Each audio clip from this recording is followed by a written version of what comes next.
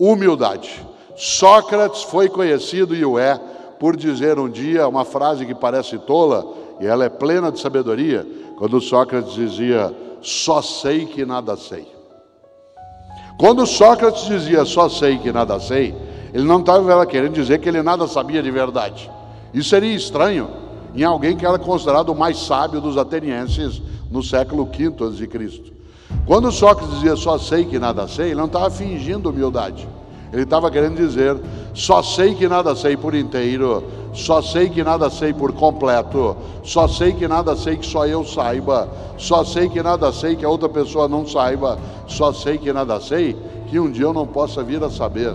Sócrates estava expressando o princípio da superação, da inovação e da transformação, que é a humildade intelectual, isto é, a capacidade de saber que não sabe todas as coisas. Há três caminhos para o fracasso.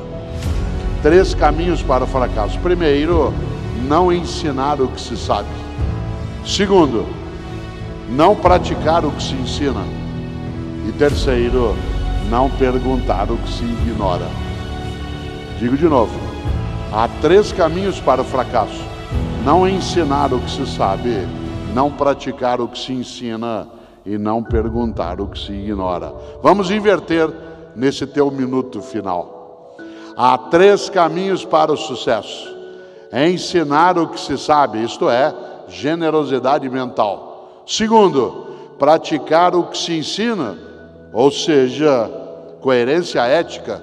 Terceiro, perguntar o que se ignora, isto é, humildade intelectual. Essas são três trilhas virtuosas para o sucesso.